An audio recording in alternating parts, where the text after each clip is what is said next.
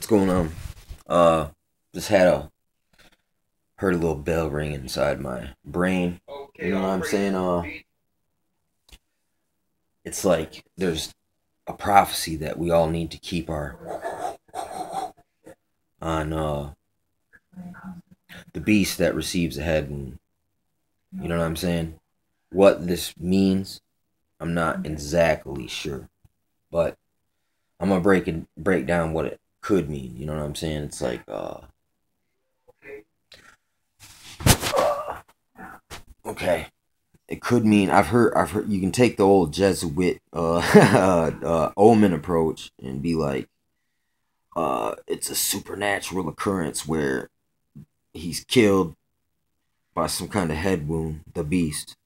You know what I'm saying? I'm not gonna say who this is, but whoever the beast is, this supposedly will happen.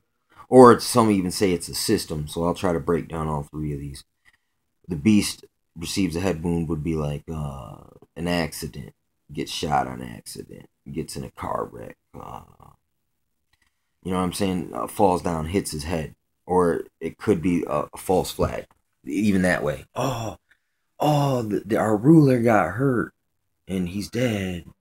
And then he'll out of his coffin three days later and he'll be like, I am God.